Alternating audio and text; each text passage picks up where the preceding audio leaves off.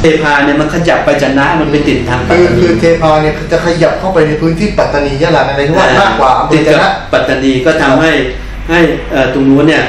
การเคลื่อนไหวของกระบวนการหรือการสร้างเงื่อนไขต่างๆ ด้านความมั่นคงเนี่ยครับเอ่อก็มีความเป็นไปได้ครับแล้วที่ผ่านมาเนี่ยมันก็มีการวิเคราะห์เอาให้ว่าทั้งสะบ้าย้อยทั้งเทพาทั้งอะไรต่างๆเนี่ยมันเหมือนพื้นที่ฟักตัวเป็นพื้นที่เคลื่อนไหวมีการซ่องสูงกำลังต่างๆ ของกระบวนการหรืออนนุนอันนี้อ่า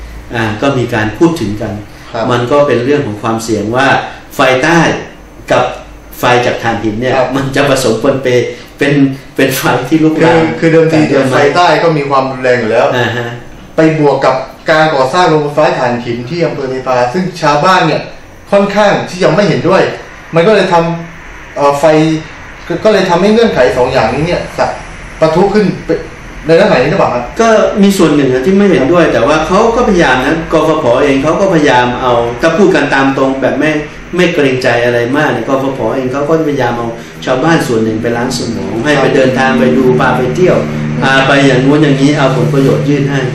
แต่ลึกๆแล้วเนี่ยผลกระทบเนี่ยมันก็มีบทเรียนให้เห็นโรงไฟฟ้าถ่านหินหรือว่ากรณีอุตสาหกรรมขนาดใหญ่ที่จะตามมากรณีการพัฒนาเมกะโปรเจกต์ต่างๆครับเอ่อ มันก็ทำให้เกิดความวิตกกังวล ถึงจะเอาไปล้างสมองยังไง มันก็ยังมีความวิตกกังวลตรงนี้อยู่มันก็สามารถจะผสมปนเป ไฟใต้กับไฟถ่านหินมันอาจจะ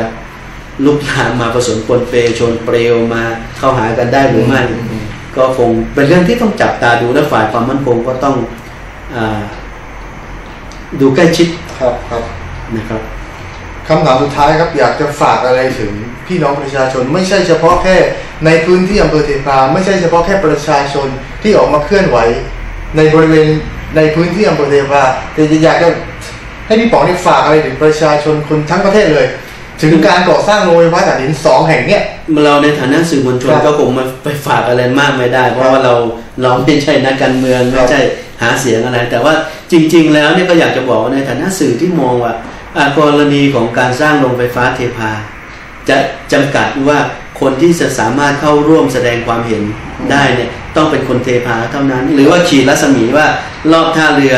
อ่ายี่อ่าห้าเมตรห้ากิโลเมตร หรือว่า 20 กิโลเมตร หลังจากนั้นเนี่ยไม่ไม่กระทบไม่เกี่ยวไอ้อย่างนี้ไม่ได้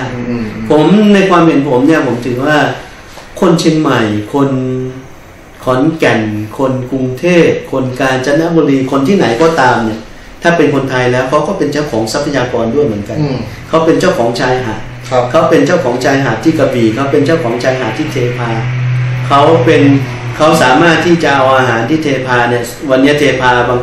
บางส่วนนี่ก็ส่งอาหารไปให้ออสเตรเลียส่งอาหารไปให้ต่างประเทศส่งเข้ากรุงเทพส่งขึ้นเชียงใหม่อาหารทะเลตรงนี้เขาก็มีส่วนร่วมมีส่วนเป็นเจ้าของ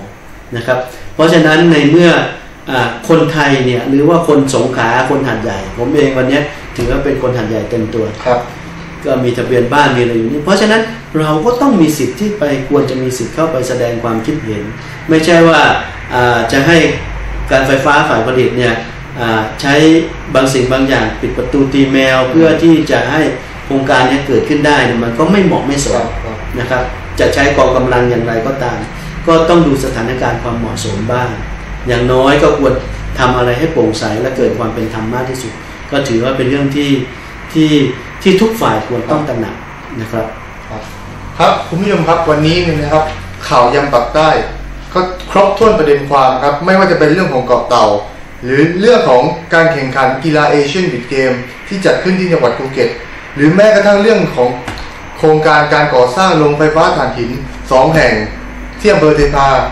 และโครงการการก่อสร้างโรงไฟฟ้าถ่านหินอีกหลายหลายๆแห่งและที่เชื่อมกำโยลังงกับเมกกับที่กำลังจะเกิดขึ้น ซึ่งมีความเชื่อมโยงกับการสร้างเมกะโปรเจกต์หรือแม้กระทั่งการทำให้พื้นที่ภาคใต้เนี่ย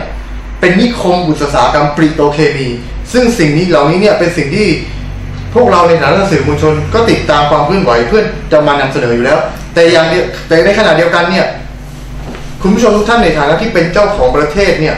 ก็ต้องติดตามความเคลื่อนไหวในเรื่องนี้อย่างใกล้ชิด เช่นเดียวกันนะครับ วันนี้สำหรับวันนี้ก็ครบถ้วนประเด็นความในรายการข่าวยามหมกใต้ก็ต้องขอขอบคุณคุณเปียโชติอินทวาส